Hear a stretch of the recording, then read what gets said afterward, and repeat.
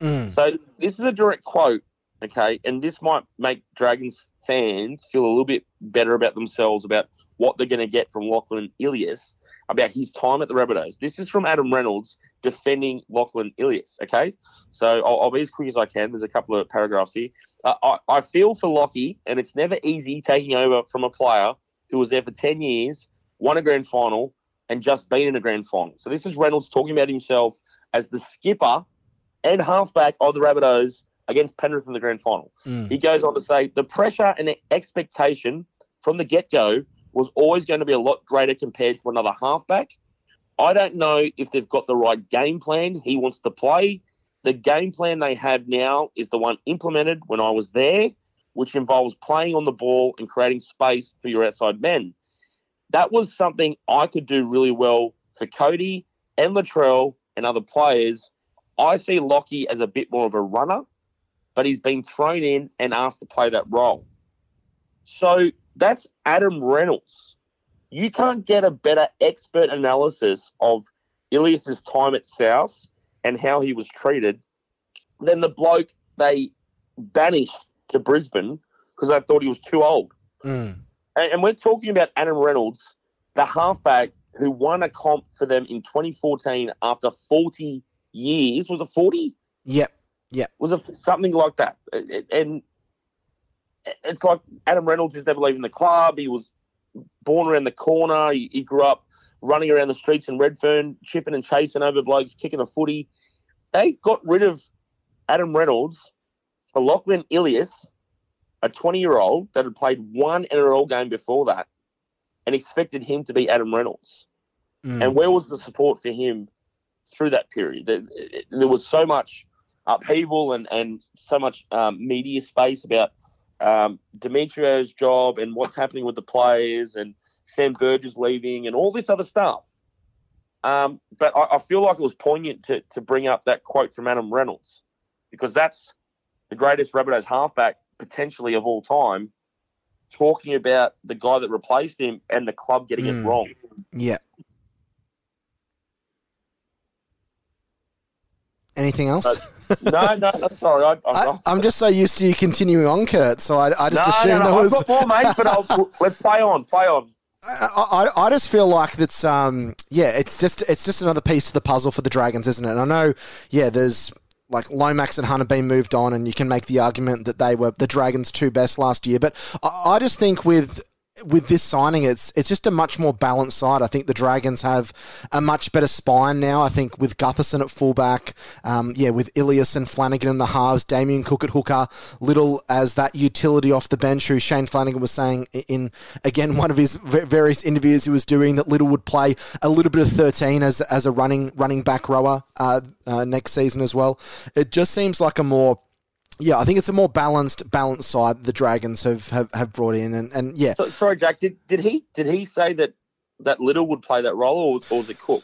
You know, he said Littlewood. Yeah. oh Um, wow. Yes. Okay. I, I wouldn't be surprised. I, I wouldn't be. The power. Uh, He's got the running game. Oh, that's weird. I, wouldn't be surprised if both of them play um, Mm. a, a top of thirteen kind of, of running role, and I don't think necessarily means that Liddle's going to be out there making yeah 10, 10 runs and thirty five tackles No. in his in his kind of forty or forty five minute spell. But yeah, I think he's he's just kind of got um, a bit of versatility with with the players. He also kind of mentioned that that Cook and uh, Liddle were players that could fill in in the centres if there was injuries, like what happened last year with Moses Suli on Anzac Day and that kind of stuff, which I thought was was an interesting take on it.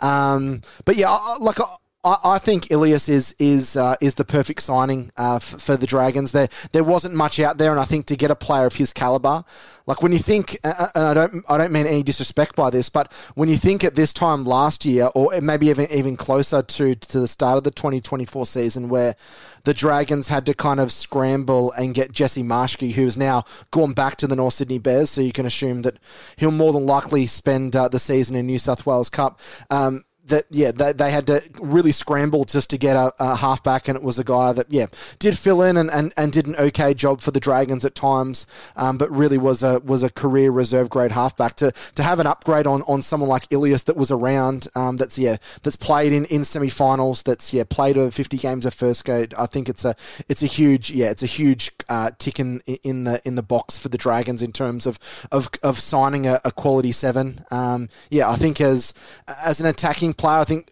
you summed it up perfectly, Kurt, when you when you read that quote from um, from Adam Reynolds about yeah, his his running game is dangerous, his kicking game is dangerous, and and hopefully yeah, the Dragons make a few tweaks to their attacking systems, and him and Kyle Flanagan can get some reps under their belt and, and really combine because that's the that's the key moving forward. But I'm excited about both of them because, yeah, I think what we saw from Kyle Flanagan last year is not what we're going to necessarily see in, in 2025 because the reins have kind of been released a little bit. He's not kind of playing second fiddle to, to Ben Hunt anymore. So, yeah, maybe Kyle Flanagan is a bit more of the chief playmaker. We see Lachlan Ilias uh, show a little bit of his running game. It might be the, the other way around. I think that's what that's what kind of excites me um, uh, uh, about this. Do you, do you have any thoughts yourself on, on the attacking influence that Lachlan Ilias you think will bring to the Dragons next season?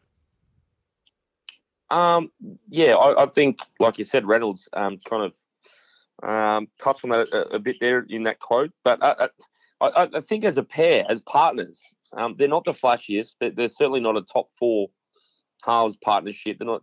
They're not top eight. But, but we don't know what they are. But well, Chammas, Michael, make... well, t- I'll touch on it later. But Michael Chammas, the journalist, said that he thought they were the worst uh, com- half combination in the comp.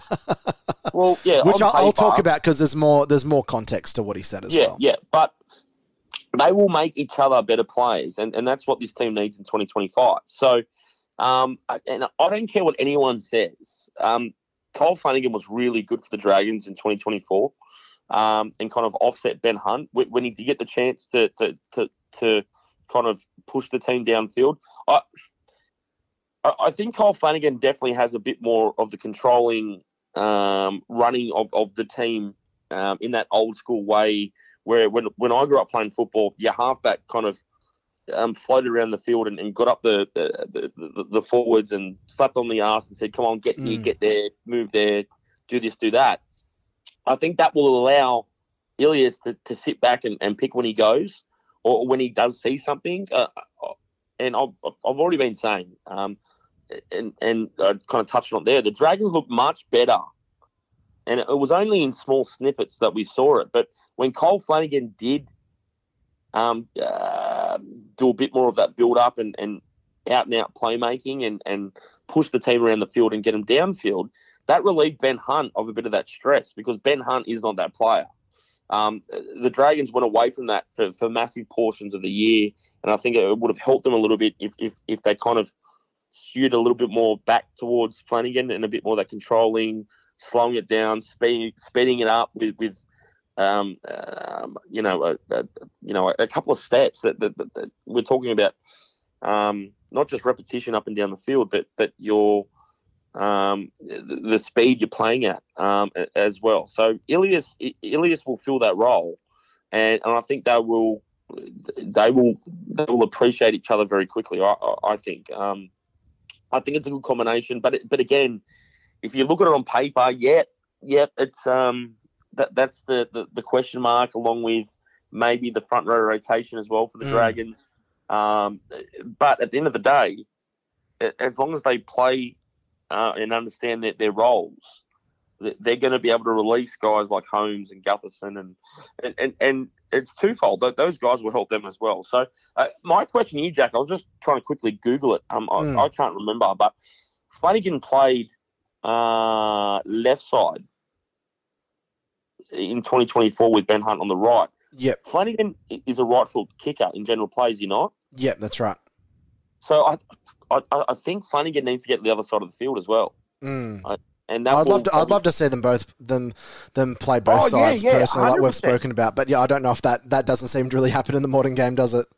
No, no, but but but but good coaches coach for the players they've got. I'd, I'd love to see Flanagan a bit more on the other side of the field if he's a right foot kicker because that gives him an, an extra couple of uh, couple of steps to to get his best kicks in.